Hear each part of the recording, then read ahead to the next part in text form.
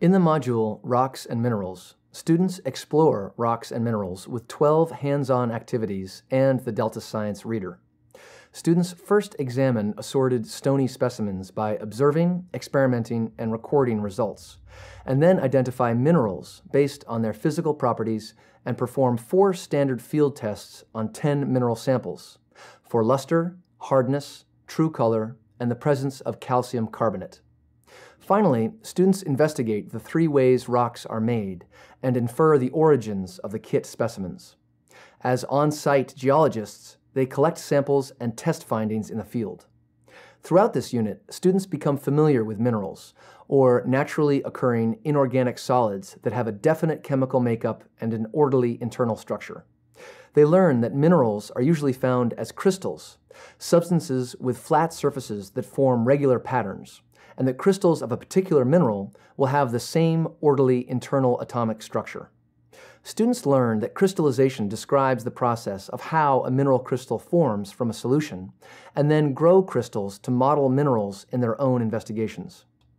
In this module, students are also introduced to the important field of geology, or the study of the earth, and the role of geologists scientists who study the rocks and minerals of the Earth's crust to better understand Earth's history, processes, and structure. They also become familiar with some of the many uses for rocks and minerals, past and present.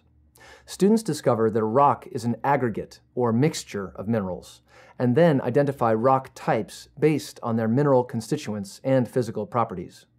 They discover that sometimes rocks are made almost entirely of one mineral, but more often that rocks are made of many minerals.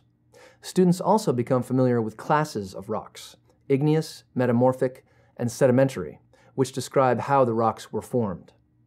In this module, students also create rocks embedded with fossils and grow salt crystals to model minerals.